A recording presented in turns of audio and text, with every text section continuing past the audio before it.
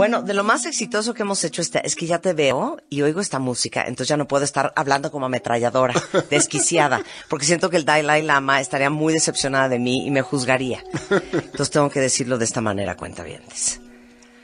El día de hoy, hermanos, hermanas. No, no es como así. El día de hoy, hermanos, hermanas. Marco Antonio Karam, presidente y fundador de Casa Tibet en México. Primo hermano de madre y padre del Dalai Lama. Miren, ínchimos, BFFs. Está de regreso con nosotros. Tuvimos hace poco a, a, Marco Antonio y nos explicó qué es el budismo. Y quedaste contratado para regresar a explicarnos quién es esta figura que ustedes llaman su santidad del Dalai Lama. Porque estamos de acuerdo que todos sabemos que existe el Dalai Lama. Alguna vez alguien ha visto una foto del Dalai Lama. Se habla mucho del Dalai Lama. Pero ¿quién es el Dalai Lama para ustedes? ¿Qué significa? ¿Qué representa? ¿Y por qué lo llaman su santidad? Bienvenido de regreso. Bueno, en primera instancia, Marta, no sabes el gusto que me da estar aquí en tu programa y el increíble efecto que tiene en aquellas personas que nos escuchan. Así que... ¿Cómo te fue la vez pasada? No, de forma espectacular tuvimos más de 50 mil hits a la a las redes sociales de la Casa del Tibet, o sea, casi... Y tú no me respetabas, qué grueso, ¿no? ¿Tú crees que eso es, eso es budista? ¿Tú crees que eso es, que eso es un buen Buda? Oye, pues qué sensacional, ¿no? Fue muy interesante porque aparte eres un gran explicador. Oye, bueno, pues arráncate. El Dalai Mira, Lama. Todo, Dalai... quiero saber dónde nació, quién no? era su mamá, quién era su papá, todo. Como bien sabes, el Dalai Lama es el líder temporal y espiritual del pueblo tibetano. Uh -huh. Premio Nobel de la Paz 1989, e indudablemente, acuerdo a muchas distintas encuestas, entre ellas la encuestadora Gallup, uh -huh. el líder de opinión moral más importante del mundo contemporáneo. Esto es algo interesante, dado el hecho de que... O sea, el Papa eh, Francisco... Más todavía, tiene un rating, si lo podemos describir de esa manera, todavía más importante. Bueno, el Dalai Lama es, eh, nació en 1935 en uh, una provincia al oeste del Tíbet y eh, en lo que es, eh, lo que es eh, la provincia de Kham, uh -huh. ¿sí? en una pequeña aldeíta muy modesta llamada Taxter, uh -huh. cuyo único mérito es estar relativamente cerca de uno de los más grandes monasterios de la tradición digamos, ortodoxa del budismo tibetano, la tradición Gelugpa, uh -huh. que se encuentra a pues, unos 100 kilómetros aproximadamente de distancia de esta pequeña aldea. Uh -huh. eh, la familia del Dalai Lama era una familia primariamente de agricultores, de personas eh, que ni siquiera sabían leer ni escribir, analfabetas, y eh, tuvieron el mérito eh, por algunas condiciones y circunstancias dentro del ámbito del seno familiar de dar a luz a una serie de hijos que ostentarían cargos importantes dentro, digamos, la teocracia tradicional del Tíbet precomunista en general. Uh -huh. La la figura de los Dalai Lamas es una que nosotros... Por eso, pero nace el bebé. Nace el, en 1935. Nace ¿sí? el bebé. ¿Cómo se llama? Eh, bueno, eh, le llaman eh, Tenzin Gyatso. Ok, Tenzin que Gyatso. quiere decir océano, uh -huh. ¿sí? De cualidades búdicas, digamos. Por eso, pero nace el bebé y la mamá del Dalai Lama no dice, tuve un Dalai Lama. No, es no a ver, ¿cómo, ¿cómo, es? ¿Cómo es? Bueno, para empezar es importante tener en cuenta que el Dalai Lama es eh, alguien al que se le concibe como la encarnación del Buda de la compasión universal.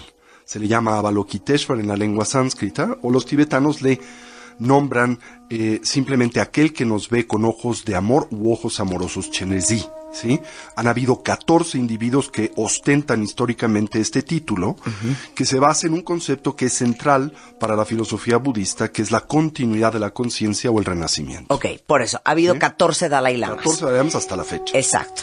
O sea, por decir 14 reyes, 14 emperadores, por decir un nombre, ¿no? Para, para hacer un comparativo. Entonces ha habido 14 Dalai Lamas. Así es. ¿De qué depende que seas Dalai Lama o depende, que te nombren Dalai Lama? Depende de una variedad de factores. Primero, naturalmente, el que eh, la persona que ostenta el título manifieste ciertas habilidades y cualidades, entre ellas lo que podríamos describir como la perfecta recolección de sus vidas previas. Esto es que el pequeñito se reconozca a sí mismo como el Dalai Lama. Y así lo hizo él. Ahorita te cuento la historia. Conjuntamente con ello, una variedad de, digamos, experiencias visionarias eh, vinculadas a algunas de las personalidades más importantes, digamos, de la estructura espiritual del Tíbet, que simultáneamente, a través de ese medio, eh, de alguna manera reconocen y después eh, designan a este pequeñito conjuntamente con sus propios reclamos. Simultáneamente el niño tiene que pasar una serie de pruebas excepcionales en donde empíricamente se comprueba que existe evidencia para concebirle como la encarnación del previo Dalai Lama. Entonces déjame que te cuente la historia para ilustrar todas estas ideas. Sí, porque siento que estoy perdida. Bueno, el previo Dalai Lama muere en 1933, el decimotercer Dalai Lama, Tupten Gyatso. Cuando este muere, eh, deja una serie de pistas en torno a donde probablemente piensa podrá experimentar renacimiento. Entre ellas una poesía, ¿verdad? En donde eh, afirma que como una grulla, ¿verdad? La grulla es uno de los animales más importantes y sagrados del el Tíbet, ¿no?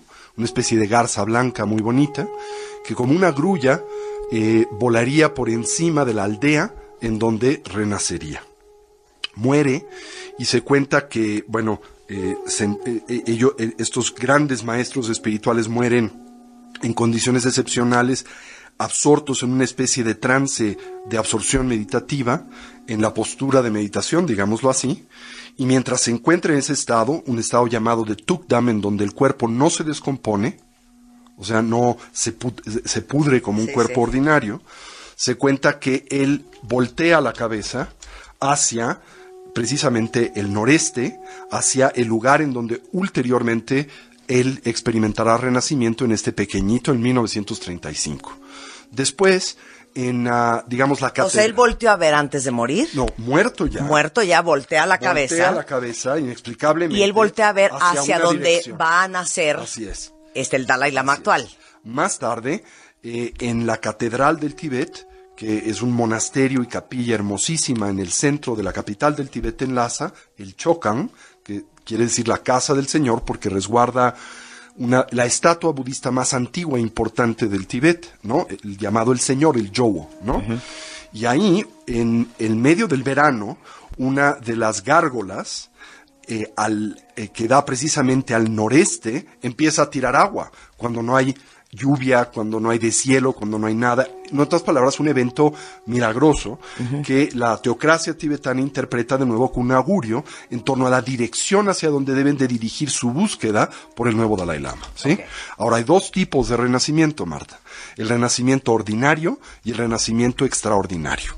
El renacimiento ordinario es aquel primariamente controlado por hábitos y tendencias inconscientes, sobre el que esa conciencia o mente tiene una injerencia muy primaria, muy limitada. Y el renacimiento extraordinario es aquel en donde, dada la evolución cognitiva del individuo, puede determinar, orientarse hacia un renacimiento consciente. Tomemos, él escogió nacer en el nuevo Dalai Lama y no en el perro del vecino. Exacto. ¿Y dónde, cuándo, cómo, en qué circunstancias en términos generales? Entendido. Podemos ilustrarlo a través de una experiencia que nos es cercana a todos nosotros, que es la experiencia del dormir. Cuando nosotros transitamos del estado de vigilia al estado del sueño onírico, la naturaleza visionaria de ese estado puede a nosotros aparecer de dos maneras.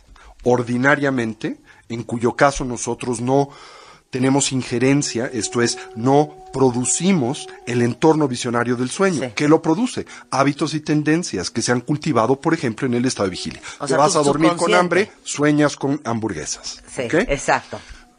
Pero también es posible eh, tener injerencia sobre el entorno visionario de los sueños. Esto es tú producir el sueño que deseas. Para lograr ese objetivo, tienes que, hacerse ah, tienes que hacerte lúcido dentro del sueño.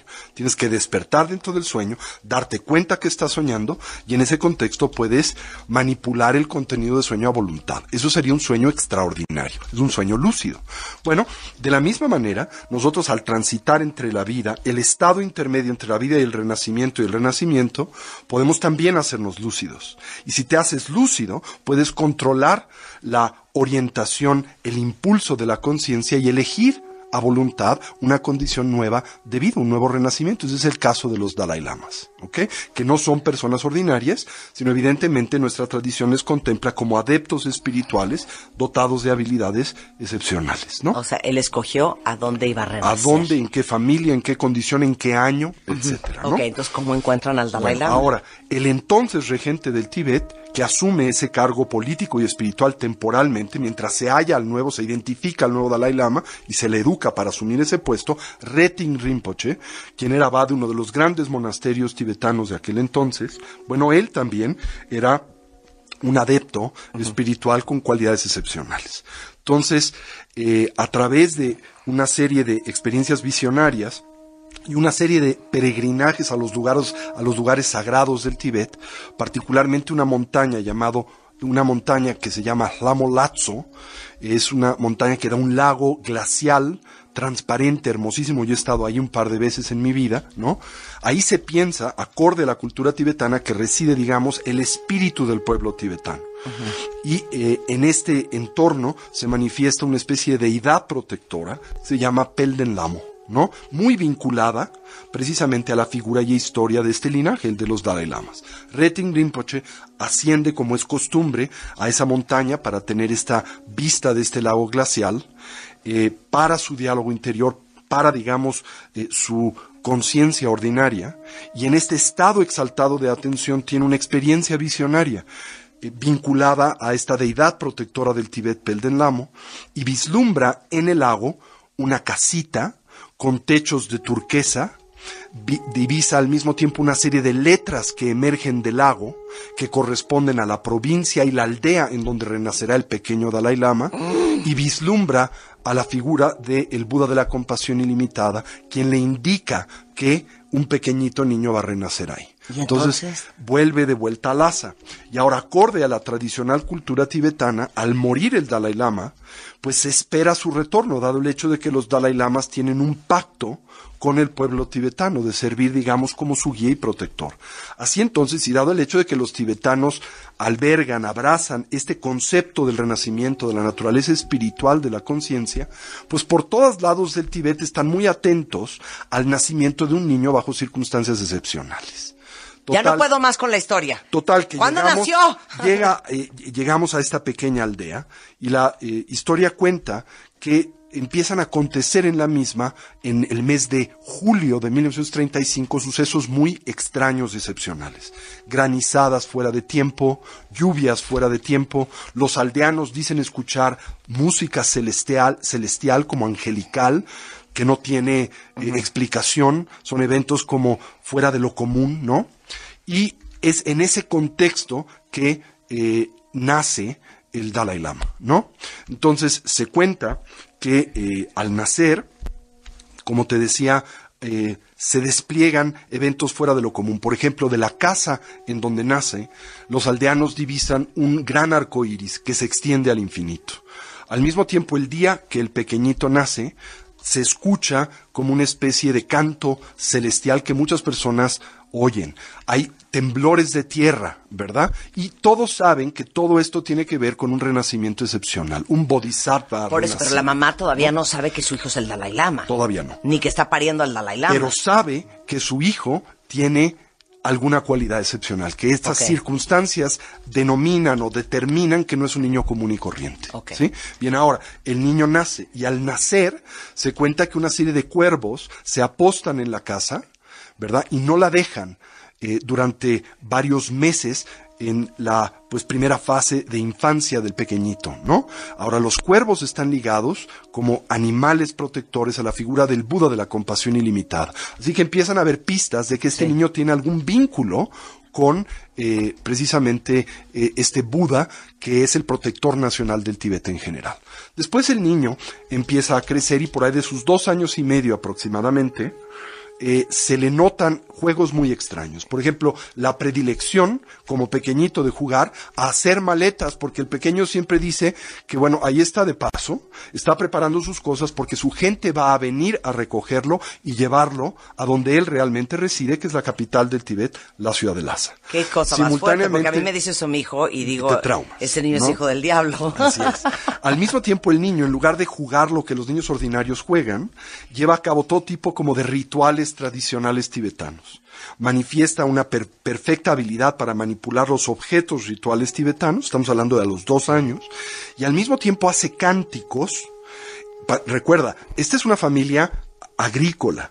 Eh, que no saben leer ni escribir, son analfabetas. Y el niño recita en estos juegos de pequeñito textos que están algo así como en latín, que es el idioma clásico tibetano, en perfecta dicción, con los cantos tradicionales tibetanos, y entonces los padres dicen, este niño es un lama encarnado excepcional alguien especial. Y entonces, ¿quién dice, oiga, señor, a mí me late que mi hijo... Eh, empieza a correrse la voz de que ha renacido un niño con cualidades excepcionales en esta pequeña aldea, la aldea de Taxter, en Kham, en el noroeste del Tíbet.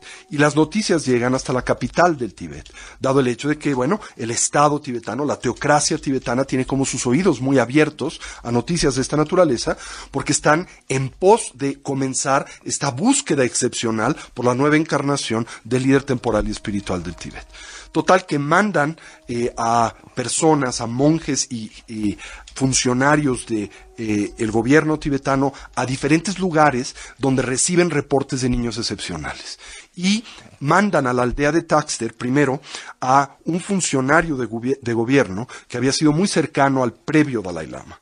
Y al mismo tiempo mandan a un eh, monje que había sido uno de los asistentes personales del previo Dalai Lama. Pero tienen que hacerlo en total anonimato, dado el hecho de que, pues tratándose el Dalai Lama, del prestigio que acompaña ese cargo, las riquezas que le acompañan, pues si se corre la voz, pues todo el mundo va a querer presentar a su hijo como la nueva encarnación del Dalai Lama. Entonces van incógnitos a esta aldea y hacen un truco. El monje se viste de civil, el civil se viste de monje, ¿no? La tradición cuenta, y esto yo lo escuché directamente de este monje que encontró al Dalai Lama, que fue un amigo mío cercano en mi juventud, ¿no? Entonces lo tengo de primera persona la narrativa. Cuentan que el niñito, eh, dos días antes de que estos individuos lleguen, como si fueran peregrinos que estaban pasando por la aldea, ¿no? Que el niño dice, en un par de días mi gente va a venir por mí. Le dice a sus padres, ¿no? Total que llegan estos individuos a la aldea, todo corresponde a las experiencias visionarias del regente del Tíbet. Las letras corresponden con la aldea y la provincia. ¿Verdad? La casa donde recibe el Dalai Lama, totalmente distinta a aquellas de la comarca, porque tiene techos de, eh, pues, eh, eh, digamos, ¿cómo se llama? De tejas, de verdes, a la usanza china y no la tibetana, ¿no? Total que llegan al patio y el niño pequeñito, tendría dos años y medio, tres años, los ve, ¿no? Y para la sorpresa de ellos, corre sin ningún temor ante estos y les reconoce por sus cargos originales. Le dice, tú eres un miembro del gobierno de la administración tibetana. Tú eres un monje del monasterio de Drepung. Y no sé porque, eh, y no sé por qué están fingiendo ser lo contrario. Deberían de avergonzarse. ¿No? El niñito les dice. Luego lo reconoce de nombre, Marta. Les dice, tú eres tal persona, tú eres esta otra persona. Y luego al eh, eh, monje le jala un rosario que traía puesto y le dice, este es el rosario que yo te obsequié. ¿Sí?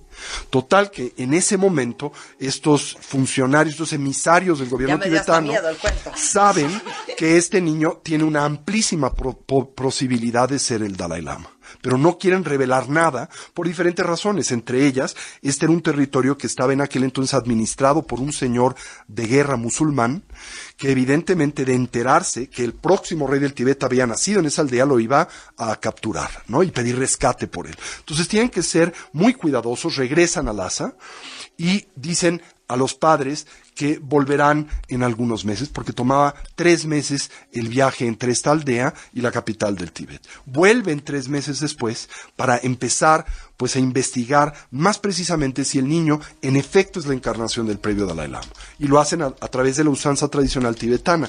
Traen una colección de objetos que le habían pertenecido al previo Dalai Lama, que había usado a lo largo de su vida, tanto rituales como personales, y eh, diluyen estos objetos con muchos similares de diferentes calidades. Por ejemplo, traen una campana ritual, la famosa el drilbu tibetano, ¿no? Una de oro, una de plata, la que usaba el previo Dalai Lama, otras cuatro o cinco más de diferentes tipos, unas más llamativas, Sí, otras menos la llamativas. así, ¿no? Entonces sientan al pequeñito, ¿no? Y le enseñan estas campanas y le piden, reconoce entre ellas alguna. ¿Cuál es la tuya? ¿Cuál es la tuya? Y el niño, sin chistar, reconoce la que era propia. Mira, Después mira quién está en la tele, mira quién está en la tele, voltea. Vital Signs, CNN, Ah, el Dalai Lama, está. De él Eso es un buen augurio, hablando. es un buen augurio. ¿eh? O sea, qué horror que Muy estemos hablando augurio. del Dalai Lama y aparezca en Eso CNN ahorita en la augurio. pantalla. Eso es algo muy especial, ¿no? Total que le hacen más de 30 pruebas de esta naturaleza. El niño no puede chistear en tan solo una. Tiene que ser perfecta recolección. Pero hay un problema, ¿no? Le muestran un bastón. eh, entre varios bastones, ¿no? El niño toma primero un bastón y entonces los emisarios dicen, no, Ya se equivocó. se equivocó, este no era de... Y uno de los emisarios no dice, no, lo usó durante unas semanas, ¿no? Y el niño baja el bastón, como después de chistear, y toma el que había usado una buena parte de su vida. Y a través de todos estos medios, los emisarios concluyen que en efecto este pequeñito es la encarnación del previo Dalai Lama. Y se lo llevan. Se lo llevan, ahora en Espérame. la cultura tradicional Sí, sí, tibetana. o sea, ¿cómo así de señora? Bueno, es pues, un honor muchísimas gracias. El, el- el contar dentro del seno de tu familia con la- una alta encarnación y evidentemente se llevan más tarde a la familia para que acompañen al niño eh, en su nuevo puesto y en esta nueva aventura vital que será la de Dalai Lama, ¿no? ¿Cómo lo preparan? Eso nos va a explicar Marco Antonio regresando del corte. Y oigan, y todas las preguntas que tengan en Twitter, en Facebook, sin vergüenza, mándenoslas y con mucho gusto le- le- les contestamos para que todos aprendamos más de quién es esta figura sagrada para los budistas, el Dalai Lama, en W Radio. Donde estés. Una cantidad de preguntas en redes sociales, cuentavientes, porque hoy estamos en clases intensivas de, Dada, de Dalai Lama y budismo. Está con nosotros Marco Antonio Karam, es presidente y fundador de la Casa Tibet en México. Y como el Dalai Lama es una figura muy importante de nuestra historia contemporánea, me parece importantísimo que sean budistas o no sean budistas, crean en el budismo, entiendan el budismo o no lo entiendan, que entendamos la historia del Dalai Lama, que es el número 14 en la historia del Tíbet, quién es, cómo lo escogieron. Les acabo de mandar unas fotos espectaculares del actual Dalai Lama, eh, Premio Nobel de la Paz, cuando era chiquito. Y nos quedamos en que eh, una vez que identifican, después de una serie de pruebas fuertísimas, que él es la reencarnación del Dalai Lama número 13 para convertirse en el número 14, se lo llevan de su familia a los tres años de edad. Qué triste. Esa, esas fotos tiene carita triste, Marco. Pues podrás imaginar que para un niño de esa edad, el separarse de su familia, el distanciarse de su madre, en particular de sus hermanos, naturalmente es una experiencia compleja, fuerte. confrontativa, Sí. traumática. El propio Dalai Lama así lo comenta, dice que fue algo muy difícil para él de superar y especialmente durante su instancia, su, perdón, su infancia, dada eh, la intensidad del proceso educativo al que se le somete, ¿verdad? El no tener la oportunidad de jugar como un niño ordinario, de no convivir con sus hermanos en términos generales, fue algo muy difícil, aunque también evidentemente no es tan eh, extremo como se piensa, a la familia, el propio gobierno tibetano la traía, le eh, aportaba una casa muy cercana al Palacio del Potala, donde residía el Dalai Lama. La madre del Dalai Lama lo podía visitar eh, recurrentemente, aunque no vivía con él eh, todo el tiempo, ¿verdad? Pero, pero es un poco lo que hablamos siempre en este programa. Al final, cuando tú crees que el trabajo es el vehículo para pagar tarjetas de crédito y para pagar colegiaturas y para comer, pierdes todo el sentido más importante y más grande de la vida, que es entender mucho más allá de la subsistencia vulgar, es ¿Cuál es tu misión en la vida? ¿Para qué veniste? ¿Cuáles tus, son tus grandes deseos, tus grandes sueños, tus grandes anhelos y el gran propósito por el cual tú estás en esta tierra y no alguien más? Y es un poco, me imagino, el proceso del Dalai Lama, Así de es, entender que su sí propósito de vida era mucho más grande Que él había nacido que jugar. Para abrazar una responsabilidad que iba más allá de sí mismo. Claro. Entonces, a los 15 años ya es el Dalai Lama. Así es. ¿Qué significa eso? Bueno, el Dalai Lama es el líder temporal y espiritual del pueblo tibetano. Eso quiere decir que por un su lado papa. era como una especie de papa, Sí. era por un lado el rey de Tibet, pero por otro lado también la cabeza principal, digamos, de las distintas escuelas del budismo tibetano. El budismo tibetano está dividido en diferentes tradiciones, pero al Dalai Lama se le contemplaba como una especie de unificador y patriarca de todas estas, aunque cada una de estas escuelas tiene, digamos, su cabeza en particular, ¿no? Y el Dalai Lama, porque, eh, eh, eh, por cierto, todo el mundo está con los pelos de punta aquí en Twitter, porque justamente cuando estamos teniendo esta conversación, volteo a ver un monitor que tengo enfrente, que es CNN en el, el internacional, y de repente sale un anuncio y sale el Dalai Lama. Dicen, raro. ¿esto significa algo? Pues una coincidencia, como una sincronía, ¿verdad? Algo excepcional. Siento que el Dalai Lama me quiere conocer. Que- muy probablemente. Siento que así es. Oye, eh, ya, ya que conocen un poco la historia, eh, si no escucharon el programa que hicimos eh, con Marco Antonio Karam la última vez, en donde explicó toda la filosofía budista, les mando ahorita por Twitter el podcast, que de todos modos está arriba en martadebaile.com para que se pongan al corriente. Este, nos trajiste recomendaciones de vida del Dalai Lama, porque Así así, es. le van ustedes a entender cómo piensa un budista. Así es.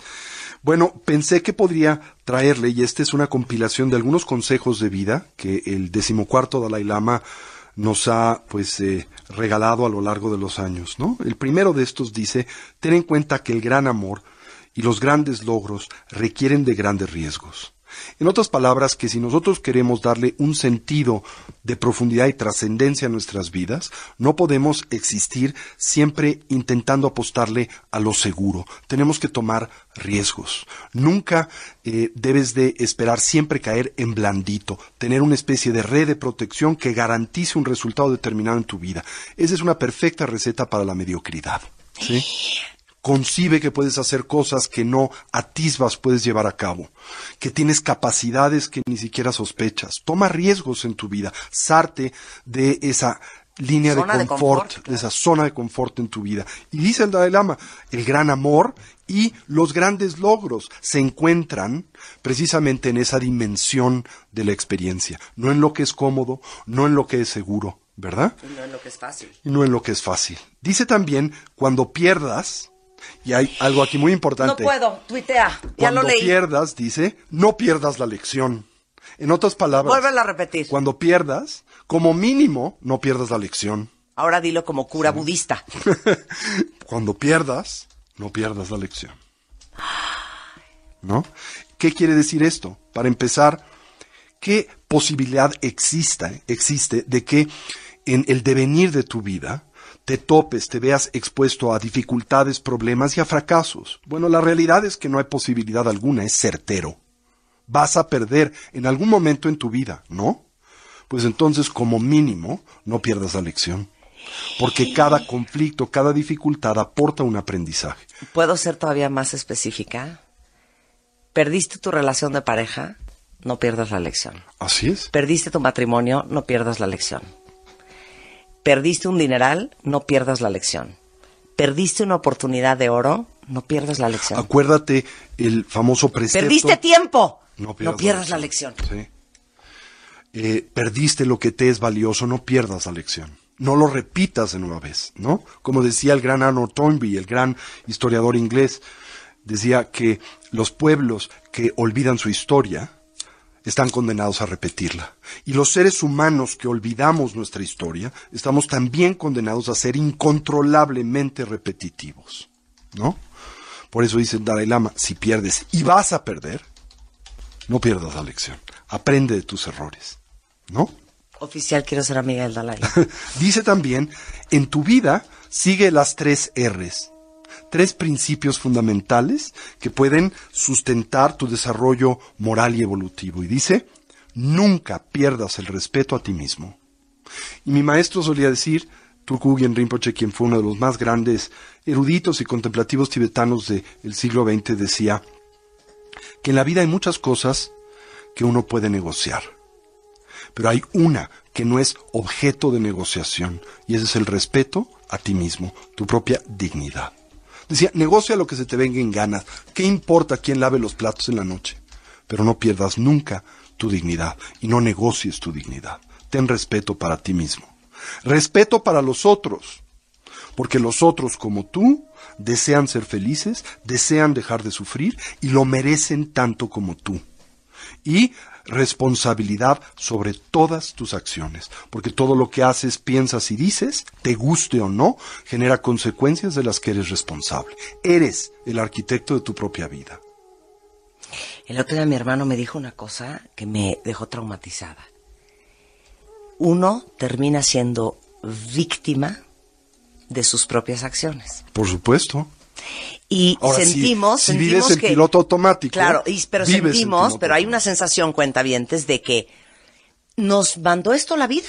O sea, nos llegó, o sea, nos pasó o no nos pasó, sin hacerte responsable de que todo lo que te pasa y no te pasa está vinculado con tu desempeño vital.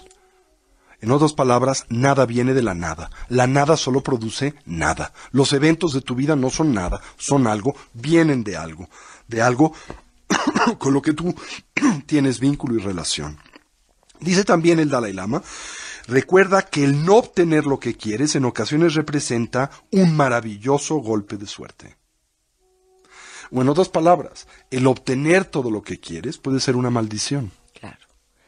Pero es como mucho de confía que lo que viene a ti es porque es lo que tienes que tener. Y que es útil y que es un detonante de tu desarrollo personal. Y lo que no, no. Así es, ¿no?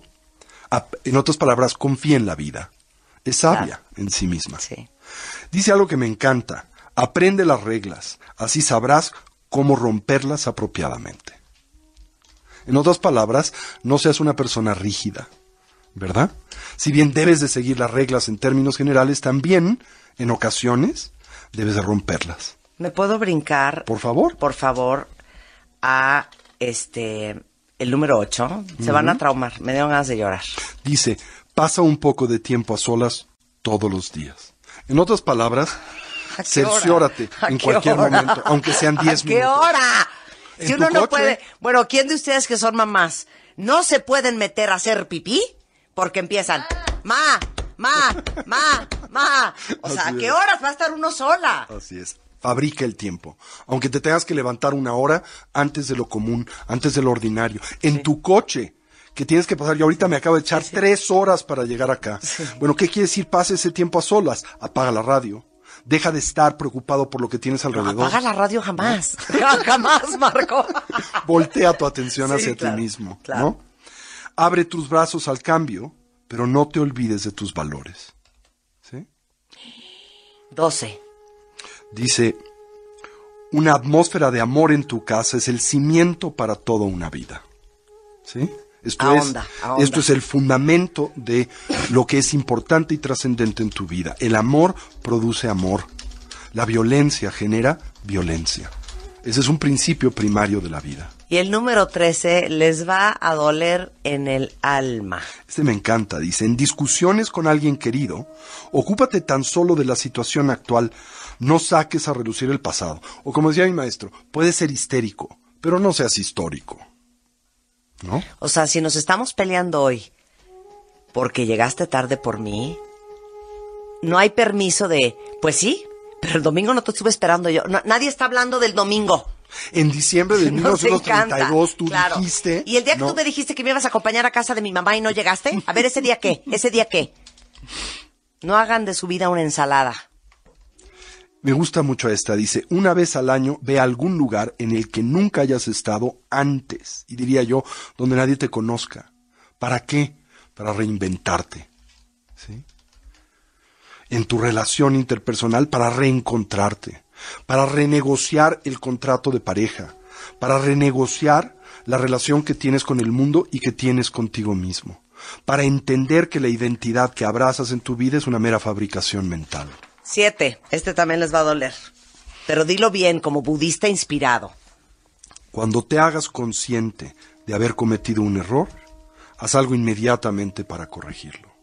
Entonces no te dilates porque tiende a crecer, a complicarse, a elaborarse, ¿no? Corrige las cosas cuando están en caliente. ¿Sí? O sea, nada sirve pedir perdón una semana después, cuando uno ya lloró como puerco. Y esta me encanta, dice. Recuerda que a veces el silencio es la mejor respuesta. Calladito te ves más bonito. Mi mamá lo decía de la siguiente manera. La mejor palabra es la que no se habla. Así es. ¿No? Está muy bonito lo que dice el Dalai Lama. Y es sentido común. A veces yo eh, afirmo que el budismo es la ciencia del sentido común, que es el menos común de los sentidos, por cierto, ¿no? Casa Tibet ah, está acá en la Ciudad de México. Así es, la Casa del Tibet es el centro cultural oficial de su santidad el Dalai Lama en la colonia Roma, la calle de Orizaba 93. Estamos a sus órdenes. ¿Pero qué va uno? ¿Da clases? La Casa del Tibet medita? es un centro cultural, es un, un centro educativo que tiene como mandato pues el difundir la rica herencia espiritual y cultural del pueblo tibetano. Tenemos un programa educativo excepcional, tenemos nuestro seminario de introducción a la teoría y práctica del budismo tibetano. Ah, eso está es padrísimo, cuenta bien, para los que quieren aprender. de ingreso para lo que es el programa formativo que se ofrece en la Casa del Tibet de México. Pueden entrar a nuestras redes sociales, Casa Tibet México, a nuestro Twitter, Casa Tibet México también, y bueno, pues a nuestra página web www.casatibet.org.mx. Algo bien interesante, porque lo acabo de leer ahorita de alguien en, en Facebook, eh, decía, yo soy católico, ¿puedo practicar el budismo? Y yo recuerdo muy bien que cuando tú veniste la primera vez dijiste, para nosotros el budismo no es una religión. No es una religión. No es una religión. Es una filosofía, es una forma de estar en el mundo centrada en una actitud de lucidez y sabiduría. Así que sí, por supuesto, cualquier individuo puede derivar beneficio de las herramientas contemplativas de autoanálisis propias de la tradición budista. Y, y pues, ¿qué más nos queda en el tintero? Bueno, pues el Dalai Lama se ve forzado a escapar del Tíbet en 1959 en consecuencia del deterioro de la condición política en el Tíbet y de pues eh, la evolución de la tanto diáspora como del genocidio tibetano. La República India lo abraza, le da eh, pues resguardo tanto a él como a más de 100.000 tibetanos que escapan con él y esto que es o representa el ocaso de la civilización clásica tibetana también eh, pues eh, eh, curiosamente o irónicamente se convierte en una bendición para el mundo porque nos permite acceder a un reino, a una cultura que había estado herméticamente cerrada por más de dos siglos y permite el que Occidente pueda empezar a tener vínculos y contactos con no solo el Dalai Lama, sino esta extraordinaria tradición espiritual y eh, filosófica. Y bueno, el Dalai Lama se va convirtiendo poco a poco, como decía al inicio de nuestro programa, en una figura de proyección internacional y hoy en el líder de opinión moral más importante del mundo. Qué increíble. Tiene más de 50 libros. Así es. ¿Cuál para todos los cuentavientes que están escuchando, que les interesaría como empezar desde clase 1.1 de budismo, cuál libro recomendarías que lean del Dalai Lama? Pues les recomendaría uno que se intitula eh, En convertirse en un Buda o las cuatro nobles verdades. ¿En convertirse en un Buda Sí, o las es cuatro? uno, o las cuatro nobles verdades. Perfecto. Es una presentación primaria de la filosofía budista. ¿Sí? Sensacional. Marco, un placer tenerte aquí. El placer es siempre mío. ¿A qué vas Gracias a por- regresar? Porque tienes que regresar. ¿Qué te Aquí parece? dicen, Vuelve a invitar a este hombre excepcional. A mí me A encantaría hablar ahora acerca de la meditación. No entiendo. Te lo juro que no entiendo la meditación. Ponme música para meditar. Te voy a explicar lo que es para mí la meditación. Y por qué me da como medio risa, pena, oso. Así. Ponme rever. Cierra tus ojos. Imagina una gota de rocío resbalándose en la punta de una hoja. Siente tus pies. Siente tus rodillas. Siente la sangre correr por... ¡Ay, no, no! que no puedo! Me da pena ajena, me da oso, me quiero reír, me quiero salir de la clase, me da angustia, me sudo, todo. No, eso no es Eso no es. ¿no? Eso es un ejercicio de relajación. Ya sé, eso se, me ponen tan mal, eso se, me da una pena ajena, porque a mí me dicen, cierra los ojos, pon tu mente en blanco, y automáticamente estoy pensando, en la tarde tengo que ir para retirar la revista, y entonces en la noche tengo una junta, tengo que ir una- no he comprado el regalo de la boda del sábado. Eso es lo que me pasa a mí. no, afortunadamente eso no es la O sea, tú meditas diario. Todos los días. sin ¿Cuánto excepción. tiempo? Unas cuatro horas. O sea, no, no, no trabajas o cómo. Lo hago muy temprano por la mañana, tarde en la noche y un un rato durante el día. Y si tienes rato solo. Me decía, sí, por supuesto. Me decía una persona que creo que es muy interesante la observación. Decía, oye, ¿cómo le haces para meditar en el medio del bullicio de la vida diaria? Sí. Y yo le decía, ¿cómo le haces para vivir en el medio del bullicio de la vida diaria sin Sin meditar? meditar, claro.